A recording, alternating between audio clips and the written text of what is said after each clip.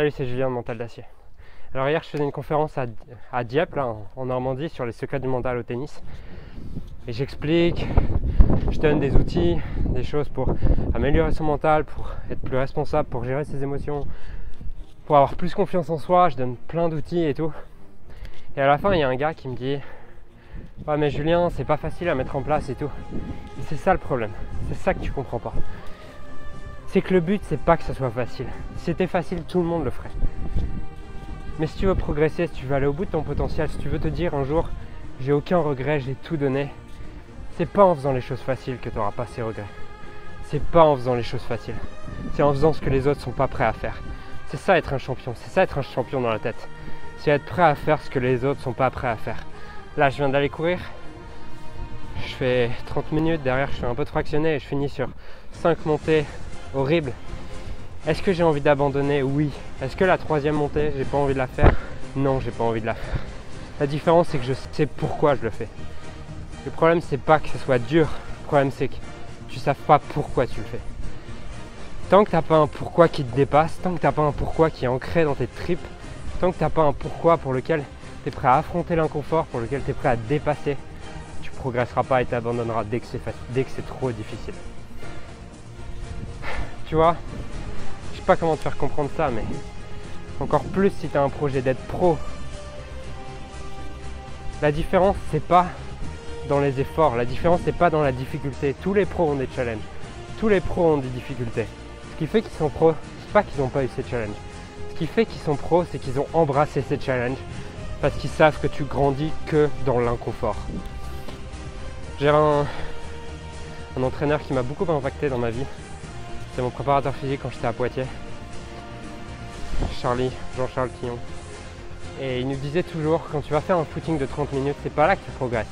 Tu t'entretiens juste. Le seul moment où tu progresses, c'est quand c'est dur. C'est quand tu te dépasses. Parce que quand tu te dépasses, tu rends ce qui était inconfortable, tu le rends possible. Et si tu le refais, un jour, ça sera facile. Tu sais, la différence, elle se fait pas dans la difficulté, elle se fait uniquement dans tes choix. C'est jamais tes, conditions qui déterminent ta vie, c'est uniquement tes choix. Choose life. C'est exactement ça. Choisis ta vie. Subis pas. Chaque fois que tu dis c'est difficile, tu es en train de subir. Tu es en train de te comporter comme une victime. Oui, tu as le droit. Oui, tu fais ce que tu veux. Mais te plains pas derrière de manquer de confiance. Te plains pas derrière de pas avoir de résultats. Te plains pas. Assume. Si t'as pas envie de faire les efforts, si t'as pas envie de faire les choses difficiles, assume de stagner. Et va pas chercher à l'extérieur, c'est la faute de mes parents, c'est la faute de mon entraîneur, c'est la faute des gens autour de moi qui croient pas en moi. Non, c'est pas ça. C'est toi qui dois croire en toi en premier. Il n'y a que toi qui peux prouver aux autres qu'ils ont tort. Choisis de croire en toi plus que les autres ne croient pas en toi. Choisis de montrer aux autres qu'ils ont tort. Choisis d'être un leader. Un leader, c'est quoi? C'est quelqu'un qui est prêt à dire fuck à 7 milliards de personnes et qui avance, qui est prêt à avancer peu importe ce que les autres disent toutes les choses qui ont été difficiles.